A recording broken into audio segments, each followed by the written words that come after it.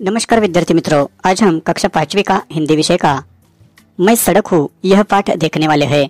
इयत्ता पाचवी मधील हिंदी विषयातील मैं सडक हूँ म्हणजेच मी रस्ता आहे हा पाठ आज आपण अभ्यासणार आहोत. रस्ते हे वेगवेगळ्या प्रकारचे असतात आणि हे जरी वेगवेगळ्या प्रकारचे रस्ते असतील तरी त्यांचे महत्त्वाचे काम असते त्यावरून वाहतूक होणे. रस्ता छोटा असेल मोठा असेल कच्चा असेल पक्का असेल साधा असेल किंवा डांबरी रस्ता असेल सिमेंटचा रस्ता असेल सर्व रस्ते हे वाहतुकीसाठी उपयोगी येत असतात. आणि ही वाहतूक होत असल्यामुळे आपल्या आयुष्यामध्ये बरेचसे फरक पडलेले आहेत. म्हणजेच त्याचा फायदाच आपल्या आयुष्यामध्ये झालेला आहे. चला तर मग पाहूयात मै सडक हो. ही एक कथा किंवा आत्मचरित्र. सडक म्हणजेच रस्ता काय सांगत आहे ते आता आपण पाहूयात. पढो और समझो.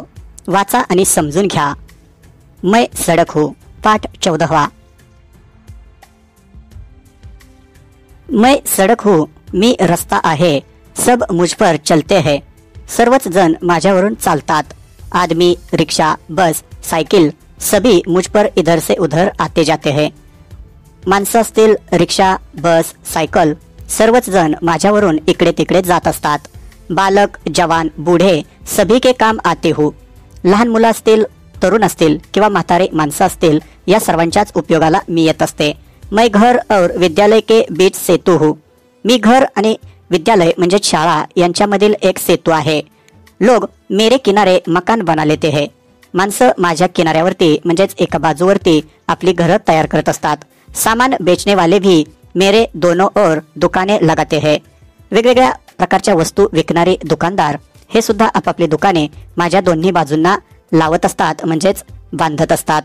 चौराहे पर पुलिस का सिपाही वर्दी पहने खडा होता आहे. आणि ज्या ठिकाणी चौराहा म्हणजेच चौक असेल चार रस्ते एकत्र येत असतील त्या ठिकाणी एक पोलीस वर्दी म्हणजेच जे काही त्याचा गणवेश असतो तो घालून त्या ठिकाणी उभा राहिलेला असतो. वह यातायात को अनुशासित रखता है. चौकामध्ये उभा असलेला पोलीस वाहतूक नियंत्रित करत असतो. रास्ता बदलने के लिए कई बार लोगों को मुड़ना पड़ता है पर इसमें मेरा दोष नहीं है. रस्ता वेगळा पकडण्यासाठी प्रत्येक वेळी किंवा बऱ्याच वेळा माणसांना वळावं लागतं. पण त्याच्यामध्ये माझा दोष नाही माझा काही गुन्हा नाही. मैं तो सदा सीधी चलने के लिए तयार हो. मी तर नेहमीच अगदी सरळ चालण्यासाठी तयारच असते. लोग अपनी जरूरत से कभी मुझे टेढ़ी नीची और ऊंची बना देते हैं. लोकांना आपापल्या गरजेनुसार कधी कधी मला वेडीवाकडी खाली गेलेली किंवा उंच गेलेली म्हणजेच उंचवटा खोलगटपणा अशा पद्धतीने तयार करत असतात. मेरा आरंभिक रूप कच्चा था. माझं पहिलं रूप हे कच्चं होतं. उस पर बैलगाडी टांगा उंटगाडी जैसे वाहन चलते थे. त्या कच्च्या रस्त्यावरून बैलगाडी टांगा उंटाची गाडी अशा प्रकारची वाहनं जात होती. फिर कोलतार डालकर पक्की सडके बनने लगे. नंतरच्या कालावधीमध्ये मग डांबर टाकून पक्की सडके म्हणजेच पक्के रस्ते तयार होऊ लागले. आजकाल नई तकनीक आ गई है. आजच्या काळामध्ये तर अगदी नवीनच तंत्रज्ञान आलेलं आहे. इस तकनीक में मुझे सिमेंट से बनायला लगे। या तंत्रज्ञानामध्ये म्हणजेच नवीन आलेल्या तंत्रज्ञानात मला सिमेंटने बनवायला सुरुवात झाली. म्हणजेच पहिलं कच्चं रूप होतं त्यानंतर डांबर टाकून पक्क रूप झालं. आणि आत्ताच्या काळामध्ये तर सिमेंट टाकून अगदी पक्की सडक म्हणजेच पक्का रस्ता तयार केला जाऊ लागला आहे. अपना यह नया रूप बहुत अच्छा लगता है. आता हे जे माझं नवीन रूप तयार झालेलं आहे ते मला खूपच आवडतं. दुःख उस समय होता है जब लोग गंदा कर देते हैं। दुःख त्यावेळी होतं ज्यावेळी मला लोक घाण करतात किंवा घाणेरडी करतात। लोग पान खाते हैं लोक पान खातात।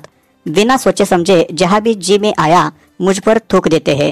आणि काहीही विचार न करता पान खाऊन तसंच माझ्यावरती म्हणजेच रस्त्यावरती कुठेही थुकतात। लोग जगह जगह मुझे खोदकर गड्ढे बना देते हैं। माणसं काय करतात की कुठेही त्यांना वाटेल त्या ठिकाणी मला खोदून त्या ठिकाणी खड्डे तयार करतात. इससे मेरे शरीर पर बहुत से घाव हो जाते हैं. यामुळे माझ्या शरीरावरती खूप सारे घाव तयार होतात. गड्ढों के कारण अनेक दुर्घटनाएं होती है.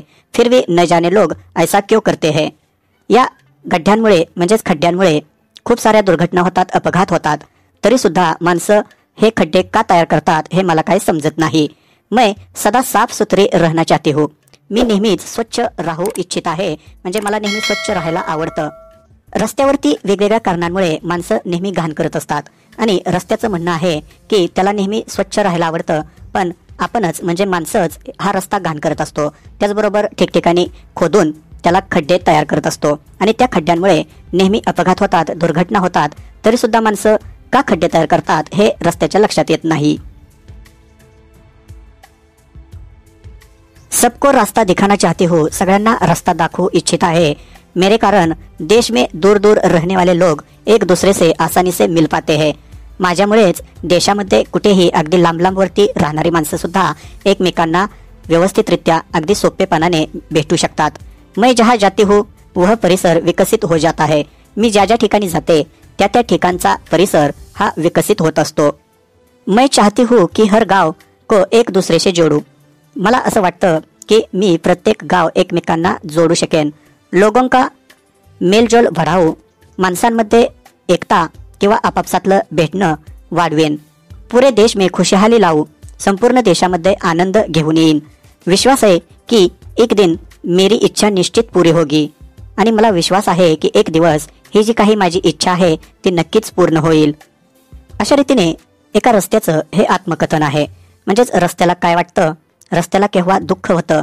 रस्त्याला केव्हा आनंद होतो? तो या पाठामधून रस्त्याने मांडण्याचा प्रयत्न केलेला आहे. हा निश्चितच तुम्हाला आवडेल आणि या रस्त्याची इच्छा पूर्ण करण्यासाठी आपण म्हणजेच सर्व माणसे प्रयत्न करतील.